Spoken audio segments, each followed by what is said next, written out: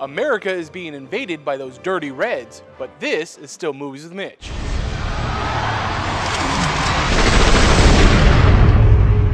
For them, this is just some place. For us, this is our home. The small town of Spokane, Washington is taken over by North Koreans, and it will take a group of civilians banding together to turn the tide against the invaders. If you're seeing this broadcast, you are in a part of the country no longer controlled by the government of the United States. Boys, I love you both, but I want you to do what I would do. Kill this piece. A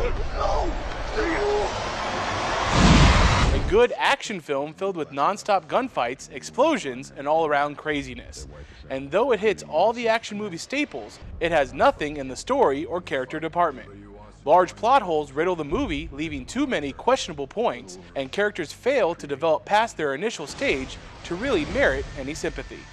But all said and done, a great movie to just sit and watch and enjoy for its spectacle. We inherited our freedom. Now it's up to all of us to fight for it. So I give Red Dawn, with a runtime of an hour and a half, a C+. We want to hear your opinion, so post it on our Facebook page.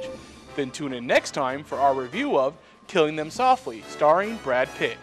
But until then, I'm Mitch Punpayuk for News 11 saying go out and watch a movie. Huh, communist controlled America. Could you imagine? In Russia, movies go out to see you. This is Movies with Mitrovic, comrades.